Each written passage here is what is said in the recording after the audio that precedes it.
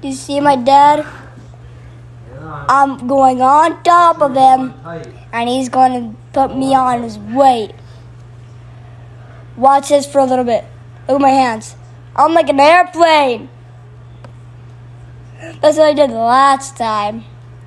So, do you see what Dad's doing? I'm like his weight. And then look at this.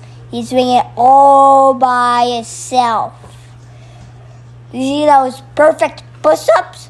Yep, my dad has very, very, very strong muscles right there.